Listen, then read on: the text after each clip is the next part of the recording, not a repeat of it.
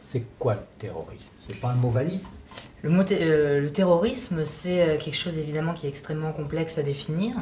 D'abord, premièrement, c'est un mot derrière lequel il y a un enjeu politique extrêmement fort, puisque via ce mot, en fait, il y a la capacité à désigner qui est terroriste ou qui, qui ne l'est pas, qui est l'ennemi, qui n'est pas l'ennemi.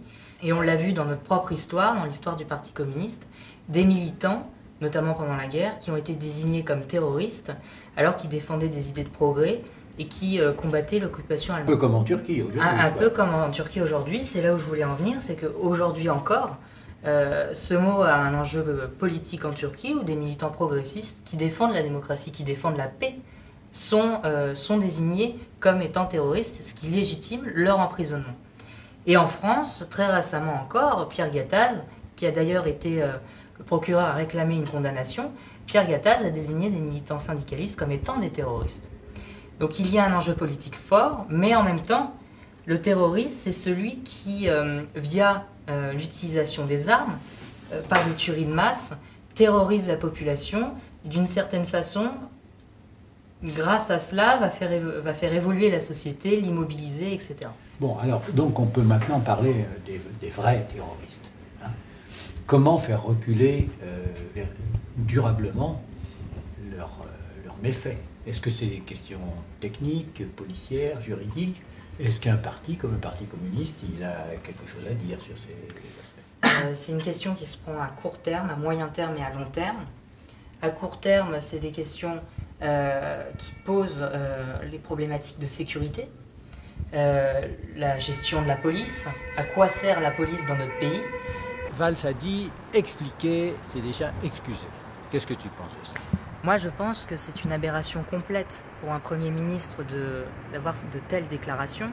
Il est évident qu'en en fait, on ne naît pas terroriste, on le devient. Et donc, ce n'est pas un phénomène génétique, c'est un phénomène social. À partir de là, il est de notre rôle d'essayer d'expliquer euh, l'origine de ce phénomène dans la société française et comment on peut le combattre à partir de cette, euh, l'identification de ces causes. Euh, et donc c'est là où une réponse à plus long terme intervient. Il y a un premier foyer de réponses qu'on peut élaborer, ce sont les réponses plutôt sociales, c'est-à-dire que souvent ce sont aussi des jeunes qui sont qui sont en situation, euh, qui constatent une forte, de fortes inégalités au sein de la société française et qui, euh, qui ont une forme de ressentiment vis-à-vis de ça. Et puis c'est quelque chose de plus complexe.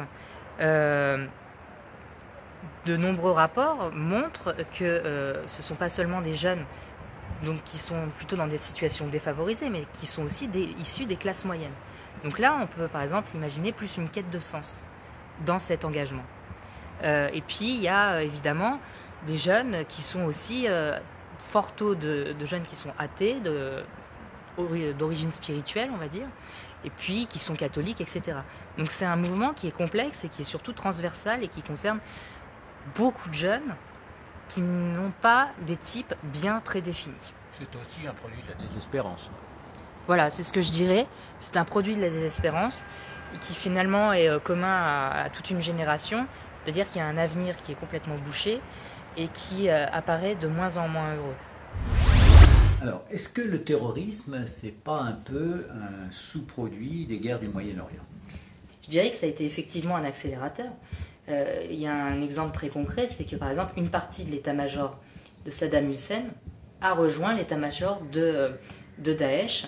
Donc euh, concrètement, oui, ça a accéléré un, phénomène de, de construction d'organisations terroristes. Mais en même temps, c'est encore une fois un, phénomène qui a une profondeur historique un peu plus importante, puisque dès les années 70, en 1972, il y a, euh, il y a les attentats contre, euh, à Munich. Et puis, on peut même remonter un petit peu euh, là, plus, plus proche de nous, dans les années 90, où on a les attentats du GIA. Bon, alors j'ai une dernière question. Quand il y a eu l'attentat Damiens contre Louis XV, ça a été un prétexte pour s'attaquer aux encyclopédistes. L'attentat de la rue Saint-Nicaise euh, contre Napoléon Bonaparte, perpétré par euh, les royalistes, ça a été un prétexte pour s'attaquer aux républicains. il y a des quantités et quantités d'exemples comme ça dans l'histoire. Alors, est-ce qu'on n'a pas une situation un peu analogue aujourd'hui? Si, si, évidemment. Moi, je crois qu'aujourd'hui, en fait, le gouvernement fait euh, preuve d'un opportunisme politique face à ces événements. Toutes les politiques qui sont produites par l'Europe à différents niveaux, par les différents États, etc., finalement vont contre les aspirations populaires. Et il y a une volonté très forte d'essayer de tout tenir et de museler les moindres foyers de protestation. C'est-à-dire que le terrorisme, c'est un prétexte, mais parmi d'autres, pour s'attaquer aux libertés.